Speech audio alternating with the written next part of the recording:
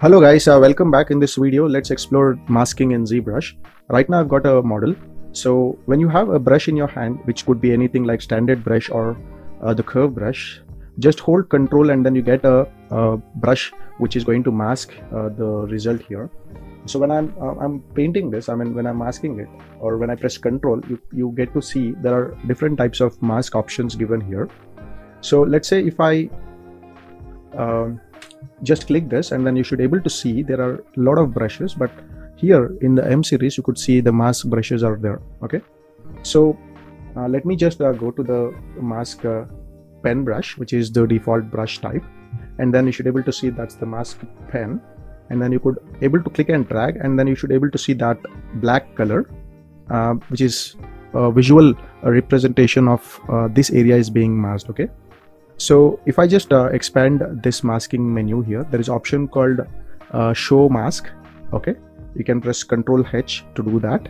So this mask uh, is generally used to avoid any kind of deformation in this area.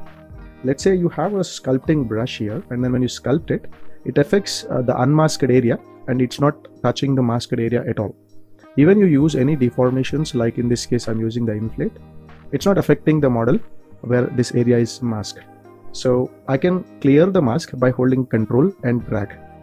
So I need to in empty area just press control just click and drag like that. I'll show you once again. Just paint it by holding control and then to clear it just click and drag. But make sure that you press control. So when I'm painting this mask here okay uh, it's like a normal brush okay? So maybe you can try using any type of alpha and also you can try changing the type of brushes you have here. And that ends up giving me the mask which is uh, of a particular shape. So i'm going back to the default switching off this. And then if i'm holding control as you could see i'm able to paint the mask here. If i hold control and alt i can remove the mask just by uh, adding the strokes okay? Uh, so you can also do one thing that is you can blur the mask here okay? You could see that blur mask and then you have sharpen mask. Anytime when you place your cursor on any of the uh, tools here and hold control then you get a small help here. So i'm holding control and click on the model. Then you should able to see there is a blur in the mask or you can click this blur mask option. So we have an option called sharpen mask here. So which makes the uh, the masking more sharp. You can hold control and shift and then click to sharp the mask here uh, we have options like grow mask which uh, grows the mask or shrinks the mask here. Uh, you can also clear the mask with this option here. Or as I told you you can just click and drag by pressing control. You can also inverse the mask by clicking this button here. Or you can hold control and just click in the empty area and it will inverse the mask here. So there are two variations here. One is dragging and then clicking. So when you click it is going to inverse it when you drag it it's going to clear it. So that's what you can do here. So i'm clearing the mask here. And then you have a whole lot of other variants here. So there is an option called rectangle okay? So if you pick a rectangle here and then just click and drag you are getting this uh, rectangular shape uh, mask there okay?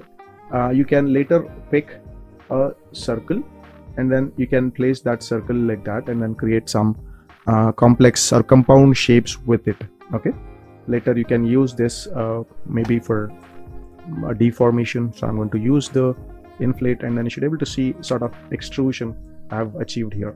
So so we have this uh, rectangle. Just click and drag. And uh, let's say you feel that this rectangle placement has to be adjusted then you can just uh, move it anywhere you wanted there by pressing space bar while you have pressed your control intact so control and spacebar both are pressed right now so that i'm able to move it and then release that and then you get that mask at your desired location. So when i'm holding control and then as i told you you have a lot of uh, variants here. So we have an option called square. So when i'm holding this uh, i mean when i'm dragging the square it's uh, giving me a, a, square shaped mask here okay? And uh, the square shaped mask uh, is bit different from the rectangle mask. Let's say when i'm doing rectangle mask the first diagonal point is that and then the release is the last diagonal point for the rectangle. However when i choose the square the center is going to be the placement here and uh, you get the square shape. And as i told you i can press spacebar i can move it anywhere and i can place it there like that. So we have a, a circle and ellipse. So when I choose a circle just click and drag it's uh, going to give you a ellipse shape. Okay? Um, and then if you choose a perfect circle then it's going to give you a perfect circle. Again you can basically move it.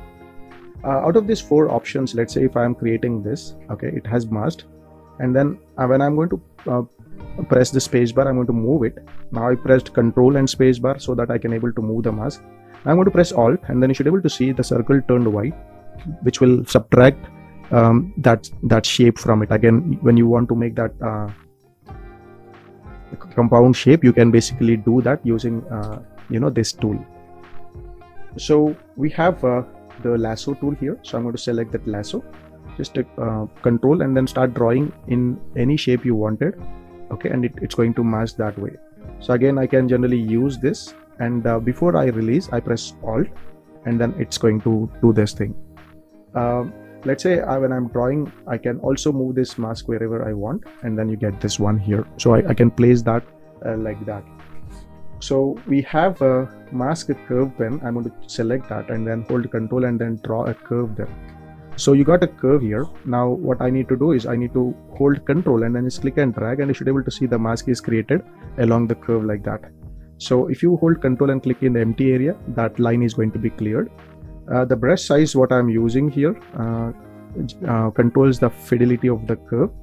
And then um, when I'm you know uh, holding control and dragging the size of the brush is controlled by the actual brush size. So reduce the brush size like that and then hold control and then you get that less sized uh, brush there. So that's a small artifact I got. Undo and then redo there and you should get this one. As the resolution of the curve is uh, not fine. So i'm drawing the high resolution and then this time i got a smooth curve here. Now why that that dotted thing has come?